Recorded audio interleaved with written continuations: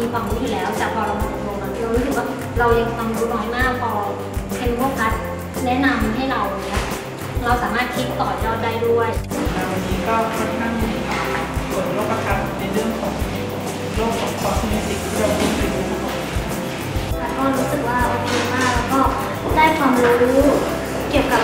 พวก cosmetic เยอะเลยวันนี้ได้มาเรียนรู้เกี่ยวกับการผลิตว่าไปทำยังไงดีค่ะคอสนี้ดีมาก